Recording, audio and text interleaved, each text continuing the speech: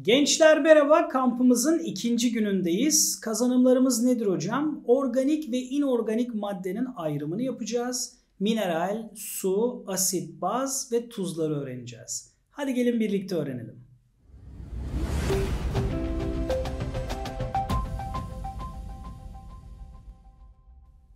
Şimdi sayfada mineralleri görüyorsunuz. Ama önce bir organik inorganik ayrımı yapmak istiyorum. Ancak ben aslında bu ayrımı çok sevmiyorum arkadaşlar. Neden? Biraz böyle ezberci kaçıyor.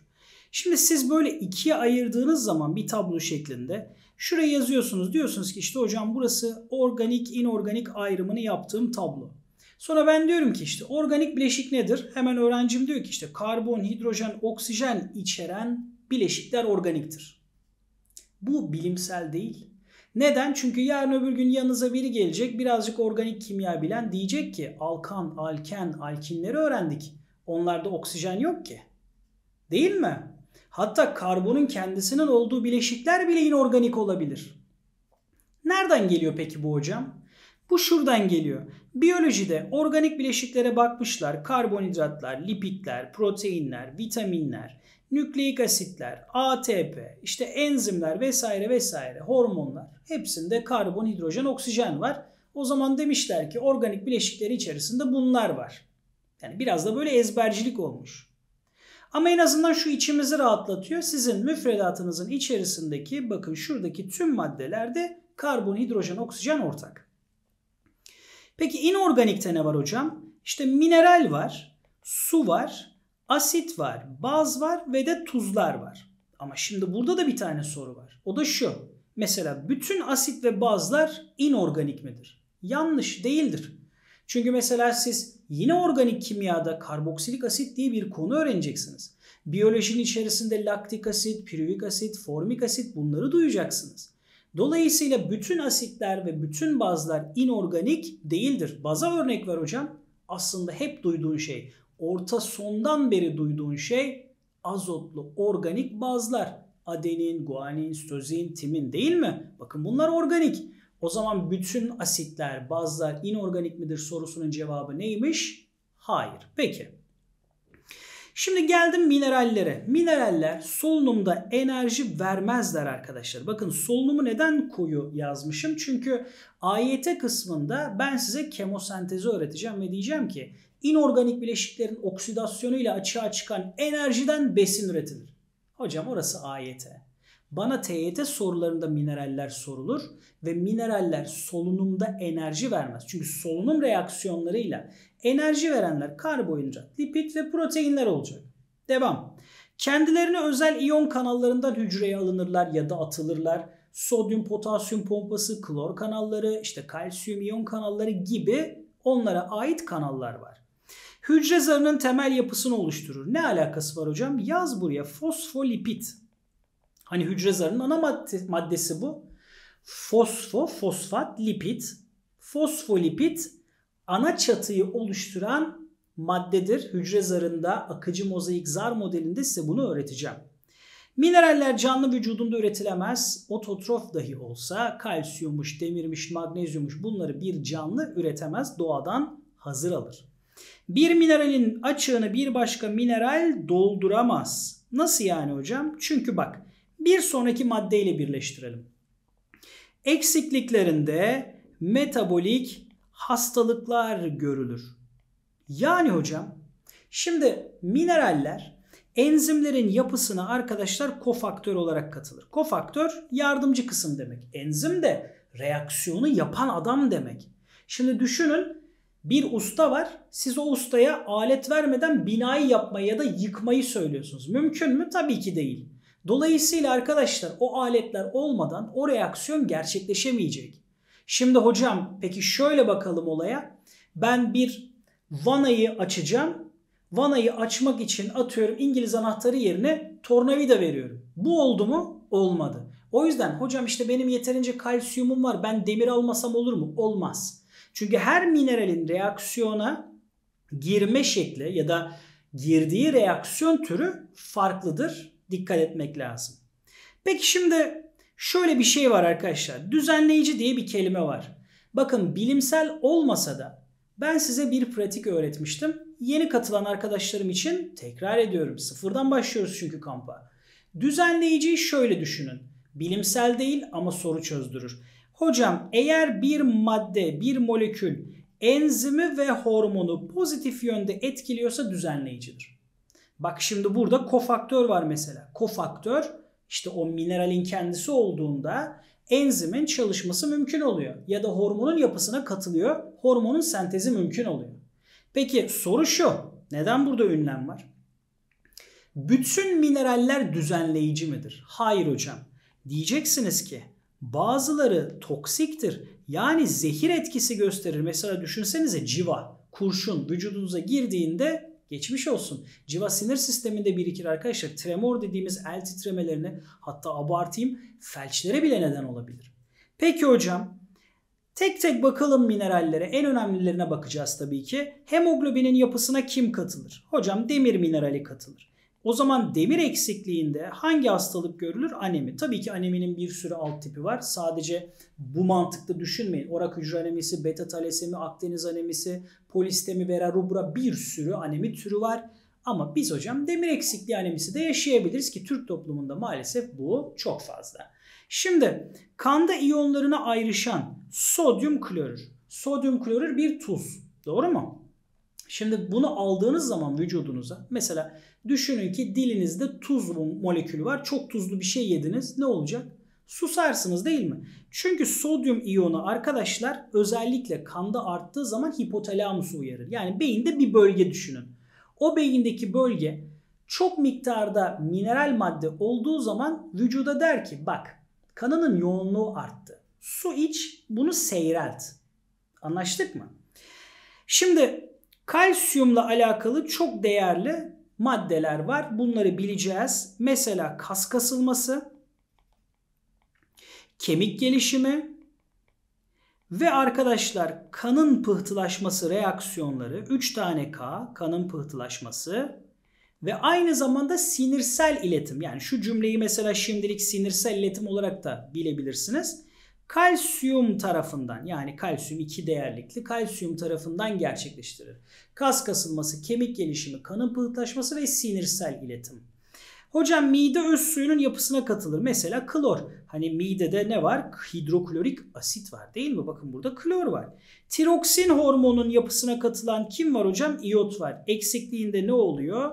Guatr meydana geliyor. Bakın bunun mekanizmasını size endokrin sistemde öğreteceğim. Şimdilik sadece yüzeysel bilin. B12 vitaminimiz var arkadaşlar. B12 vitaminin yapısına kim katılıyor? Kobalt. Bu da böyle birkaç tane denemede karşıma çıktığı için yazmak istedim. Klorofilin yapısına katılan bakın mineral magnezyumdur. Fotosentez konularında konusunda şunu soracaklar size. Mesela klorofili şöyle çizebilir. Klorofilin yapısında demir bulunur mu? Bak burada hiç demir yok. Bu kesinlikle ama kesinlikle demir içermez. Ama demir bitki için önemli. Neden? Çünkü klorofile sentezleyen enzimin kofaktörü demir. Hocam bunu buraya yazmama gerek yok. Bunu fotosentezde yazacağım zaten. Ama ne yapıyorduk biyolojide? Sarmal model uyguluyorduk. Birkaç birkaç defa onu telaffuz edelim. Birkaç defa bahsedelim ki konusu geldiğinde tam otursun. O zaman klorofilin yapısında demir bulunmaz ama demir klorofilin sentezi için önemlidir.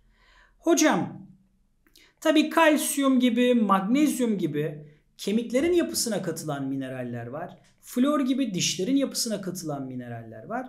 ATP, DNA, RNA'nın yapısında kim var? Azot var, fosfor var değil mi? ATP, adenozin trifosfat diyorsunuz. Peki metionin amino asidin yapısında kim var? Kükürt var. Bakın burada. Ya hocam Allah aşkına şimdi bunu niye öğreneyim ben? Bak şöyle bir soru sordular. Hangisinin yapısında kükürt var? Ya şimdi kükürt metionin yapısında ama ben biliyorum ki metionin bir amino asit. Amino asit kimin yapısını oluşturur? Protein. O zaman proteinin yapısında kükürt var diyebilirsin. Hani kesinlikle bütün proteinler demeye gerek yok çünkü belki metionin içermeyecek ama şöyle bir gerçek var. Dünyadaki bütün protein sentezleri metioninle başlar. Anlaştık mı? Var mı sıkıntı? Peki. Şimdi mineraller tamam hocam. Geldim su.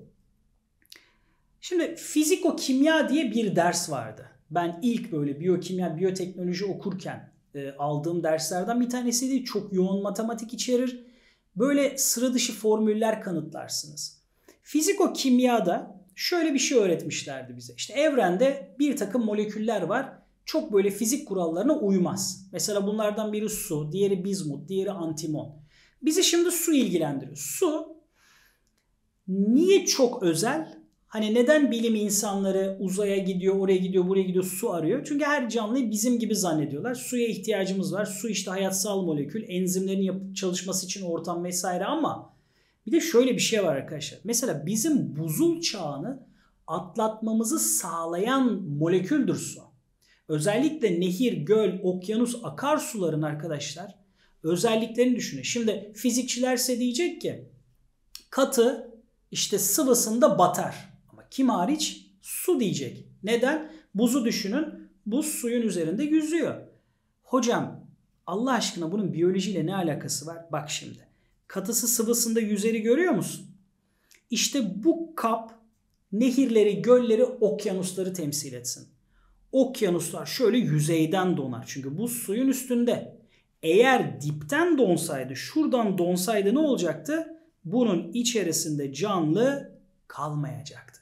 Bir de böyle buradan yüzeyden donarak ısı yalıtımını da sağlamış oluyorsun. Bu tamam cepte. Peki. Dolaşım sisteminde kan plazmasının ana maddesiymiş. Evet hocam su kanın %90'ını oluşturuyor. Güzel. Peki bu neden önemli? Yani biz niye bunu vurguluyoruz? Biyolojiyle ne alakası var? Çözünme mantığı. Biz madem kanımızın %90'ının su olduğunu iddia ediyoruz. O zaman suyun içerisindeki çözünebilecek moleküller bizim sağlığımız için önemli. Çözünemezse sıkıntı. Değil mi? O zaman hastalık yaratacak. Buna dikkat etmek lazım. Mesela lipitler suda çözünmez. Özgül ısısı yüksektir. Yıldızat soruldu sorulur. Özgül ısı C. Ya hocam şimdi ben Q eşittir mc delta T sorusu mu çözeceğim biyolojide? Hayır. Bir maddenin özgül ısısının yüksek olması ne ifade eder? Geç ısınır, geç soğur. Yani hocam biyoloji. Şimdi düşünün bir nehir ya da bir göl kenarında eviniz var. Hava bir anda soğuduğunda ya da bir anda ısındığında hafif bir geçiş olur. Yani bir ılıman iklim yaratır. Neden? Çünkü mantık şu. Eğer sıcaklık çok yükselirse havada işte şu hidrojen bağları kırılır. Yani bir şekilde o sıcaklık, o sıcaklığın neden olduğu ısı tolere edilmiş olur. Yani su bir şekilde onu içine çeker. Tam tersinde de yeni bağlar oluşturarak bağ enerjisi açığa çıkartır. Bu biraz kimya arkadaşlar. Sonra bana demeyin ya hocam detaya mı girdik falan. Bu kimya. Yani dolayısıyla siz şunu öğreneceksiniz. Mevsimler arasında soft, yumuşak bir geçiş olması suyun özgül ısısıyla alakalı bir durumdur. Özgül ısısının yüksek olmasıyla alakalı bir durumdur. Tamam. Terleme ile vücuttan vücutta ısı dengesini ayarlar. Bu ne demek? E tabi hocam şimdi su buharlaşırken ortamdaki ısıyı alıp oranın soğumasına neden oluyor. Hidroliz reaksiyonlarında harcanır. Hmm. Şimdi hidroliz, hidrosu, liz parçalamak demek. Suyla parçalıyorsun. Yani ben büyük bir molekülüm mesela polimer bir molekülüm bunu yapı taşına çevireceğim, monomere çevireceğim. İşte su molekülünü kullanıyorum. Bunu ileride biraz daha böyle soru üzerinde somut bir şekilde öğreteceğim size. Zaten dehidrasyon hidroliz ayrımını da bir sonraki gün öğreneceksiniz. İdrar oluşumu ve zehirli maddelerin seyreltilmesine görev alır. Bakın az önce demiştim ki civa, kurşun gibi mineraller canlıyı zehirler hatta öldürür. Neden? Çünkü bunlar arkadaşlar suda çözünmüyor. Çözünse idrarla atacaksınız ve vücuttan kurtulacaksınız, kurtaracaksınız. Ama çözünmezse suyun içerisinde bir molekül vücutta birikir arkadaşlar. İdrarla dışarı atılamaz. Fotoliz. Foto ışık. Liz parçalanma. Işıkla parçalanma.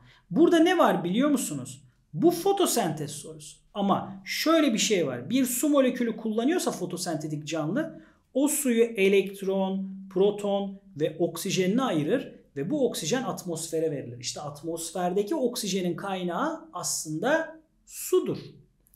Enzimlerin çalışması için uygun bir ortam yaratır. Bir önceki cümlelerimden bir tanesini hatırlayın. Düzenleyici kime diyordum? Enzimi ya da hormonu pozitif yönde etkileyene diyordum. buyur işte etkiliyor. Ve sen buraya çok rahat şöyle bir grafik çizeceksin 2-3 ders sonra. Diyeceksin ki yüzdece su ve reaksiyon hızı şöyle de yapacaksın. Diyeceksin ki %15'in altındaki su konsantrasyonlarında enzim çalışmaz. O yüzden su enzimlerin çalışması için güzel bir ortam yaratır. Dolayısıyla düzenleyicidir. Hocam solunum reaksiyonlarında enerji vermez. Güzel. Zaten ne demiştim? Solunumda karbonhidrat, lipid, proteinler enerji verir. Her seferinde tekrar edeceğim bunu.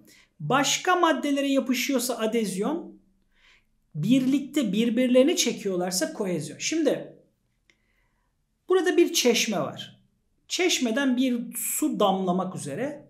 Bu damlanın şeklinin oluşmasını sağlayan kuvvet kohezyondur. Su su moleküllerin birbirini çekmesiyle olur. Ama damlanın musluğa yapışmasını sağlayan kuvvet adezyondur. Bakın bu fizikte, kimyada, biyolojide çıkar. Özellikle adezyon kohezyon bitkilerde su ve mineral taşınmasında da geçecek AYT kısmında. Ya da şöyle bir böceğin suyun üzerinde durmasının sebebi nedir? Kohezyondur. Çünkü su su molekülleri birbirini çekerek o hidrojen bağın etkisiyle ince bir katman oluşturur. Toprağın bir yerinden ta en uç noktadaki yaprağına kadar bir ağacın su taşıması yine kohezyon kuvveti sayesinde temelde oluşur. Peki hocam bir checkpoint yapalım mı? Ne yaptık ne ettik? Hocam bütün mineraller düzenleyici midir? Hayır. Bazıları zehir etkisi yaratır. Civa gibi, kurşun gibi. Peki düzenleyici ne demek? Bilimsel olmasa da soru çözdürsün. Enzimi ya da hormonu pozitif yönde etkileyen demek. Hocam özellikle demir ve iyotu bilelim çünkü ayete de karşımıza çok çıkacak demir eksikliğinde. Anemi, iyot eksikliğinde guatr olur. Dikkat edelim. Magnezyum ve demir ayrımını yapmıştık. Magnezyum klorofilin yapısına katılır. Demir klorofilin sentezinde görev alır. Mineral solunumda enerji verir mi? Hayır. Bir mineralin açığını başka bir mineral doldurabilir mi? Hayır hocam. Çünkü her bir mineralin görev aldığı ya da aktive ettiği enzim ya da onun aktive ettiği reaksiyon farklıdır. Su için özgür ısı bize neyi anlatacaktı? Geç ısınır, geç soğur çünkü özgür ısısı yüksektir. Bu da iklimler için önemliydi. Katısı sıvısında yüzer. Nehir, okyanus, göllerin arkadaşlar yüzeyden donması buzul çağı oradaki canlıların atlatmasına neden olmuştur. Fotoliz zaten ileride göreceğiz ama suyun ışığın etkisiyle parçalanmasıdır. Hidroliz su ile parçalama demektir. Bunlar karşımıza sürekli çıkacak. Checkpoint'e istediğinizi yazabilirsiniz. Son olarak hocam adezyon ve kohezyonun mantığına bak. Adezyon yapışma, kohezyon su su molekülleri arasındaki çekim kuvvetidir. Şöyle su molekülü bir su molekülünün hidrojeni ile diğer su molekülünün arasındaki şu bağ ne bağıydı? Hidrojen bağı. İşte bu kesintisiz bir kuvvet oluşturuyor arkadaşlar. Ki hidrojen bağını kimyadan siz daha iyi biliyorsunuz. İşte hidrojenin fonla yaptığı bileşikler demiştik. Onu da söylemiş olalım. Kohezyon kuvveti su su molekülü arasında, adezyon kuvveti su ile yabancı bir molekül arasında. Mesela camda yağmur damlaları var. Yağmur damlalarının cama yapışması. Yapışma adezyon. Ama su su moleküllerinin o su damla şeklini aldırması kohezyon. Son başlığımız asit, baz ve tuz. Şimdi bakın çözeltisine hidrojen verecek. Tatları ekşi olacak. Mesela limon gibi düşünün bunu. Limon asidi. Turnusol kağıdını kırmızıya çevirecek ve bazlarla reaksiyon verecek. Kimi anlattım ben? Asitleri anlattım. Hocam çözeltisine hidroksil iyonu verir. Tabi kimyacılar, kimya bilen arkadaşlar hemen diyecek ki hocam amonyak, amonyak da bazdır ama o ortamdan hidrojen alır. Tatları acıdır, kaygandır, sabun ve deterjan yapımında kullanılır. Turnusol kağıdını mora, mavi mora çevirir diyebilirsiniz. Asitlerle reaksiyon verecek. Şimdi bakın. Biyolojide öyle çok asit baz reaksiyonlarını bilmenize gerek yok. Temel mantığı bilin. Mesela tuz nasıl oluşuyor? Bunun mantığı şu. Bir asitle arkadaşlar bir baz şu şekilde reaksiyona girer. Bakın Cl, Na işte size sodyum klorür ve bakın burada hidroksil, burada hidrojen ne oluştu? Su oluştu. Eğer tuzla beraber su oluşuyorsa zaten bunun adı nötrleşme reaksiyonuydu. Şimdi hemen neyi hatırlatmamız lazım checkpoint'te? Hocam bütün asitler inorganik midir? Saçmalama. Formik asit, bütürik asit, pürvik asit, laktik asit. Cevap neymiş o zaman? Hayır. Peki bütün bazlar inorganik midir hocam? Cevap yine hayır. Azotlu organik baz. Adenin, guanin, sitozin, timin ve daha birçoğu. Peki benim aklıma şöyle bir soru daha geldi. Bakın burada bir pH metre var. pH metrede aslında nötr 7. 7'nin altındaki değerler asit, 7'nin üstündeki değerler baz. Değil mi? Peki. Yani şöyle yapıyorum. pH 7'nin altına düşmüşse asit diyorum. Üstüne çıkmışsa baz diyorum. Peki bana şunu söyleyin. Bir ortamda hidrojen iyon konsantrasyonunun artması pH'i arttırır mı azaltır mı? Hocam bir dakika. Hidrojen asit. Ortamda asitli bir bileşiğin artması tabii ki pH'i azaltır. Umarım anlaşılmıştır. Hepinize kolay gelsin.